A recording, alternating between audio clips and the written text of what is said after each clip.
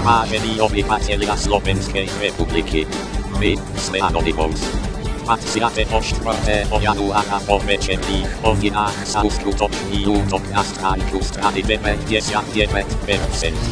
Vykradli myšlienku hnutia okuby a tento čin nesmie ostatne potrestaný.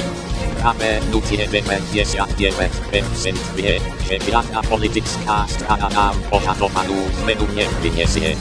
My sme Anonymous. Sme légia, neodpúšťame, nezabúdame. Očakávajte nás.